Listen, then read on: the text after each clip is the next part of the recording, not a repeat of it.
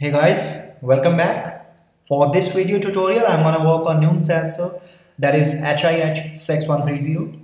To know more about this sensor and to clarify the doubts and the working functions for this sensor, let's have a look over the website that is controleverything.com and have a search for this sensor and let's see what we got. So we have HIH6130 humidity and temperature sensor and these are some of its features.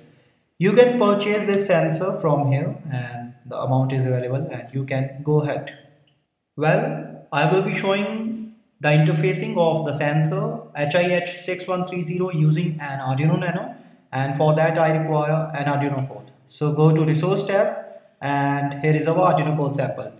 You can download the Arduino code sample from this link as a zip file. You can also download the code from our GitHub repository that is Control Everything Community. Now let's over look over the hardware, the products, the accessories we require and let's make some connections for that. Now this is here is our sensor HIH6130 which we are going to be setting up. In addition to this, we need an Arduino Nano which you are able to see on my screen. Now to make a connection among the sensor and the Arduino Nano, the binding factor is this an I2C shield which is available on our website controleverything.com. Now gently place the Arduino Nano over the I2C shield like this and make this connection. Now the question arises why we use this shield and the answer lies that we use it to make connections with other I2C devices rather easy. So let's proceed now. Now to make a connection among the sensor and the I2C shield we need this connecting cable and which you are able to see on my screen.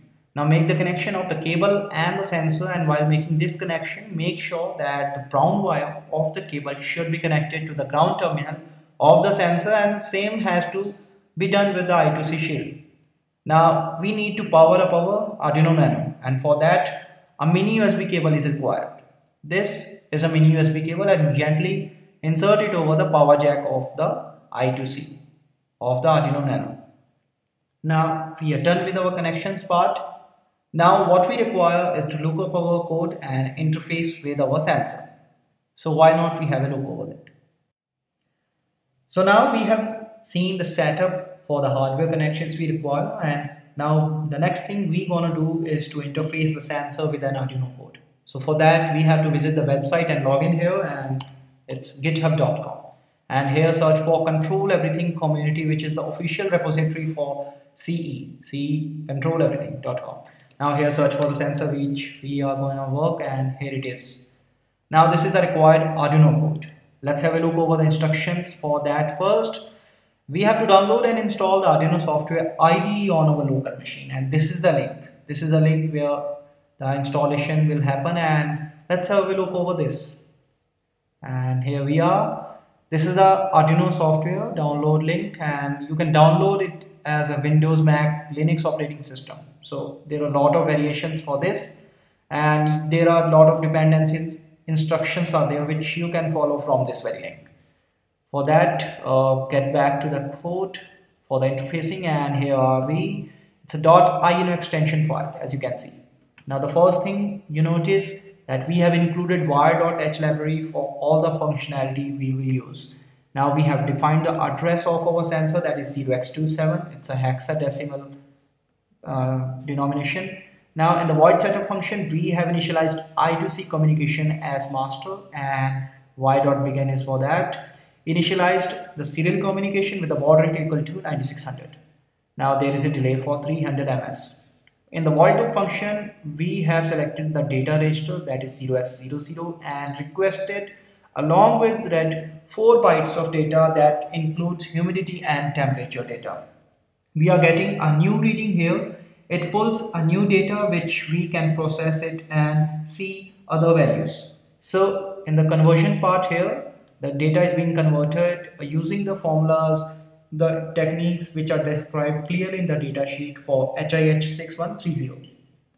Now we have to output data on the monitor and we have the format set up for that relative humidity in percentage RH along with temperature in Celsius and Fahrenheit scales as you can notice. Now this is how the code looks like. Now for this code to work let's go ahead. Now for the working part, first of all copy this entire Arduino code and now open up the Arduino terminal here. Then paste the entire code and save the code and this is the naming part for the reference and now verify and compile this code. It's done and now upload the Arduino code. It's being uploaded. Sometimes it may take a while. So let's wait up. It's done uploading and now we have to check for the serial monitor output and here we go. As you can see relative humidity and temperature on the screen. Now when I exhale there might be some changes. As you can notice there's an increase in relative humidity and temperature. Now when I do that again there is again a change in relative humidity and temperature. So this is how an Arduino code works for HIH6130 with an Arduino Nano. Now, what we require is to see the features, benefits and the applications for this particular sensor. So why not we have that look? So let's proceed. Well, we have just seen the working of humidity and temperature sensor HIH6130. This sensor comes from a family of HIH6100 series. The sensor is a digital output type relative humidity and temperature sensor combined in the same package. This sensor provides an accuracy level of plus minus 4.0 percentage RH and a temperature accuracy level of plus minus 0.5 degree Celsius. It has a leading industry leading long-term stability, total error band, reliability, energy efficiency, lowest total cost solution and a lot more features. Due to this, it is used in a wide range of applications like HVACR, respiratory therapy, incubators, air compressors, weather stations, and a lot more. So you can purchase this sensor from the website controleverything.com and you can get the code from this very site. You go to resource tab and you can download it from there. You can also get the code from our GitHub repository that is Control Everything Community. Now, I would like to make it clear that in case if there is any doubt or any query, you can reach us on controleverything.com and be sure, be sure to post your queries, your comments on our community page, which is shown here. Now, if you want some articles, some blogs relevant to this, you can go to instructables.com and check us on there. Now, if you want to subscribe more video tutorials which are coming and which are being uploaded there, you can subscribe our YouTube channel. At the very end, I hope you enjoyed this video and have a good one yourself. Thanks for watching.